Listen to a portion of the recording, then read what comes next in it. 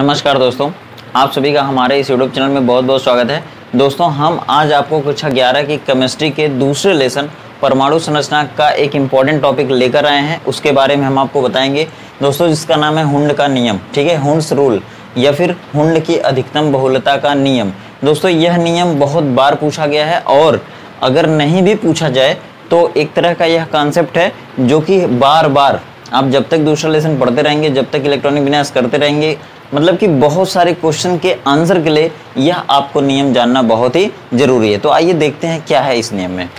देखिए, इस नियम को हुंड नाम के वैज्ञानिक ने दिया था और इसमें कहा क्या गया था, मैं आपको बता दूँ कि देखिए, जैसा कि आप जानते हैं कि इलेक्ट्रॉन कहाँ रहता है तो इलेक्ट्रॉन कोषों में रहता है और जब आगे पढ़ेंगे परमाणु मॉडल तो कोषों के अंदर उपकोष चला जाएगा मतलब उपकोषों में, और जब और परमाणु मॉडल आप पढ़ेंगे, ठीक है तो उपकोषों के अंदर इलेक्ट्रॉन चला जाएगा मतलब कच्छक में। और कच्छक में इलेक्ट्रॉन जब जाएगा तो दो तरह से चक्रण करेगा, या तो क्लॉकवाइज या तो एंटी क्लॉकवाइज ठीक है? और जब यह इलेक्ट्रॉन स्पिन करता है ना तो कहाँ करता है? तो कक्षक में करता है ऑर्बिटल में। तो हुंड्स का नियम इसी कक्षक में इलेक्ट्रॉन के चक्रण से संबंधित है, और उसी से संबंधित एक नियम हुंड नाम के वैज्ञानिक ने प्रस्तुत किया है, और उन्हीं के नियम को हुंड के नियम से जाना जाता है। तो देखिए हुंड के नियम की बातों को मैं आपके सामने रखने जा रहा हूँ। देखिए उन्होंने बताया था कि जैसे मान लीजिए अगर P में तीन इलेक्ट्रॉन है ठीक है? अगर P में यह P क्या है? आपको मालूम होगा P को, को उपकोष कहते हैं एस पी डी एफ़ उपकोष होते हैं के एल एम एन कोष होते हैं और कच्छक इन एस पी डी एफ़ के अंदर ही होता है। जैसे मैं आपको बता दूँ कि यस में कुल दो इलेक्ट्रॉन जाता है ठीक है? पी में कुल छः इलेक्ट्रॉन जाता है। डी में कुल दस इलेक्ट्रॉन जाता है और यफ में कुल चौदह इलेक्ट्रॉन जाता है, ये सभी लोगों को मालूम होगा। यस में दो इलेक्ट्रॉन जाता है, इसलिए केवल एक कक्षक होता है, ठीक है? पी में कुल छः इलेक्ट्रॉन जाता है, इसलिए पी में तीन कक्षक होता है। इन कक्षकों को ऑर्बिटल कहते हैं। डी में कुल दस इलेक्ट्रॉन जाता है, इसलिए पाँच कक्षक होता है। यफ में कुल चौदह इलेक्ट्रॉन जाता है, इसलिए सात कक्षक होता है, ठीक है? तो पी थ्री अगर मान लीजिए आप इलेक्ट्रॉनिक विन्यास करते हैं किसी भी तत्व का, और उसका इलेक्ट्रॉनिक विन्यास करते जाते जाते अंत में क्या आ गया? टू पी थ्री आ गया, या पाँच पी थ्री आ गया, या सेवन पी थ्री आ गया मतलब कुछ भी आ गया तो इस तरह से अगर आ गया तो आप इस पी के कक्षक में मतलब यहाँ पे आपको दिख रहा है कि पी उपकोष में तीन कक्षक आया सॉरी तीन इलेक्ट्रॉन आया तो तीन इलेक्ट्रॉनों को अगर पी में रखा जाएगा तो कैसे रखा जाएगा? उसके बारे में बताए हैं हुंड साहब ने, ठीक है? तो चलिए देखते हैं। हुंड हुंड ने बताया था कि अगर पी में तीन इलेक्ट्रॉन आ जाए तो इनको, इन तीन इलेक्ट्रॉनों को पी के कक्षकों में कैसे भरेंगे? तो देखिए, यहाँ पर पी में कुल छः इलेक्ट्रॉन जाता है, इसलिए इसमें तीन कक्षक होता है और इन कक्षकों का आकार होता है डम्बल से, सभी लोगों को मालूम होगा डमरुआ डमरुआकार बोलते हैं या डम्बलाकार बोलते हैं, ठीक है? इस पहले कक्षक का नाम होता है पी एक्स दूसरे कक्षक का नाम होता है पी वाई और तीसरे कक्षक का नाम होता है पी जेड। दोस्तों, एक इंपॉर्टेंट बात बता दूँ कि इस लेसन से संबंधित जितने भी इम्पोर्टेंट वीडियो है और पहले लेसन से संबंधित जितनी भी इम्पोर्टेंट वीडियो है, वो हमारे चैनल पर अपलोड की गई है। आप प्लेलिस्ट में जाकर के उन सभी वीडियो को देख सकते हैं। सारे वीडियो को ट्रिक से बताया गया है और सारे कॉन्सेप्ट को ट्रिक के माध्यम से बताया गया है, जिससे कि आपको आसानी से समझ में आ जाए, याद हो जाए और लंबे समय तक याद रहे, ठीक है? तो चलिए, आशा करेंगे कि आप वो वीडियो ज़रूर देखेंगे। दोस्तों, यहाँ पे P3 हो गया। P के तीन कक्षक हो गए और इन तीन इलेक्ट्रॉनों को भरने के लिए हुंड ने बताया था, रोल बताया, नियम बताया कि सबसे पहले सभी, सबसे पहले सभी कक्षकों में एक एक इलेक्ट्रॉन को भर देंगे, ठीक है? और जब सब कक्षों, कक्षकों में एक एक इलेक्ट्रॉन भर जाएगा, तब उसमें हम डबल या दूसरा इलेक्ट्रॉन भर सकते हैं। तो देखिए, तीन इलेक्ट्रॉन में से पहला इलेक्ट्रॉन यहाँ हो गया, पहला इलेक्ट्रॉन दूसरा इलेक्ट्रॉन यहाँ हो गया, ठीक है? और तीसरा इलेक्ट्रॉन यहाँ हो गया। ये ऊपर हम नंबर किस लिए डाल रहे हैं भाई? वो इंडिकेशन के लिए है, केवल संकेत के लिए कि पहला इलेक्ट्रॉन यहाँ है, दूसरा इलेक्ट्रॉन यहाँ है, तीसरा इलेक्ट्रॉन यहाँ है। ये हो गया। ये हो गया, क्या हो गया? कक्षकों में इलेक्ट्रॉन को भर दिया। किसके नियम से? हुन के नियम से। अगर यहीं पे P5 होता तो P5 होता तो क्या करते भाई? देखिए, ये P कक्षक हो गया, ठीक है?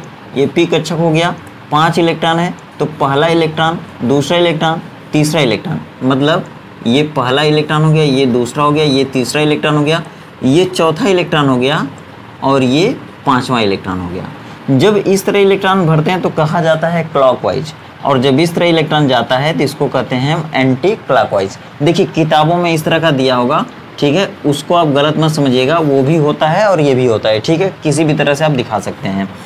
अब देखिए, आपको पूछना चाहिए कि सर, अगर यहाँ पे डी का हो जाता है या एफ़ का हो जाता तो तो मैं डी वाले को भी बता रहा हूँ। जैसे देखिए डी में अगर आठ इलेक्ट्रॉन हो जाए, हम भर सकते हैं कि नहीं आठ इलेक्ट्रॉन भर सकते। हैं क्यों? क्योंकि डी में कुल दस इलेक्ट्रॉन जाता है, ठीक है?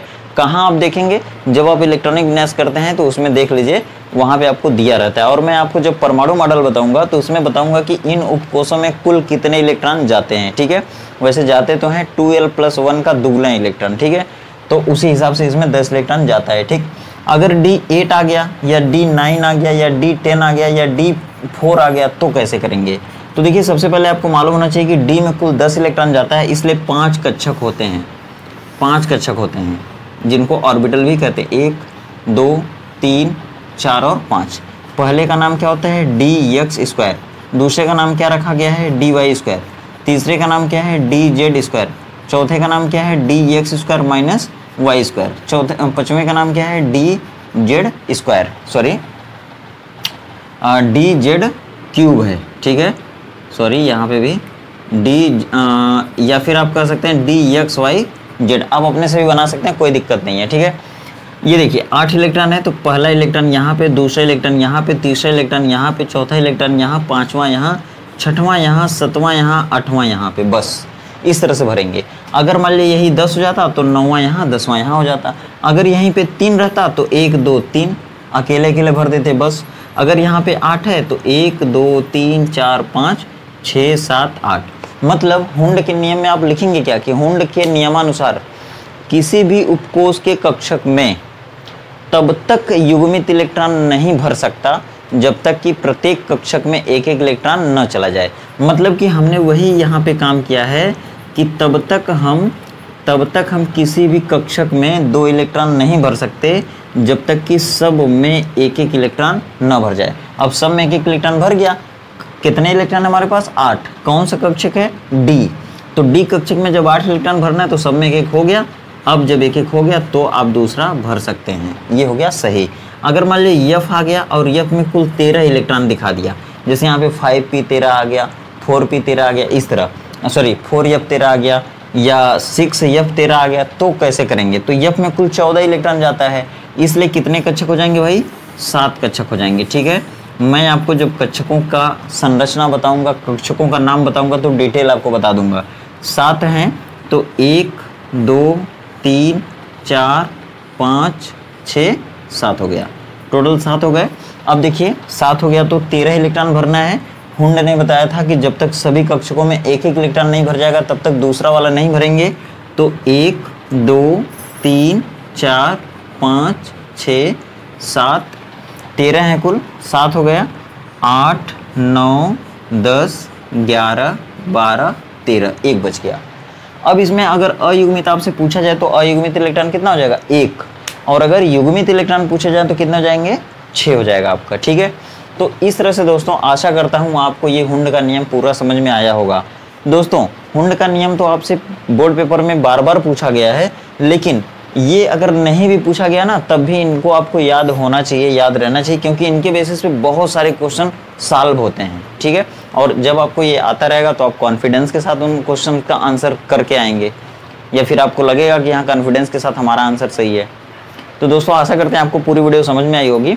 अगर कोई कमेंट हो आपको तो आप अपने कमेंट अनमोल कमेंट आप हमको भेज सकते हैं। हम उसका आंसर भी दे सकते हैं आपको। दोस्तों, अगर चैनल पर नए हैं तो चैनल को सब्सक्राइब कर लीजिएगा और अगर वीडियो पसंद आई हो तो दिल से उसको लाइक करिए। तो दोस्तों, मिलते हैं फिर अगली वीडियो में। तब तक आप खुश रहिए बेस्ट रहिए, मस्त रहिए। आपका दिन शुभ हो।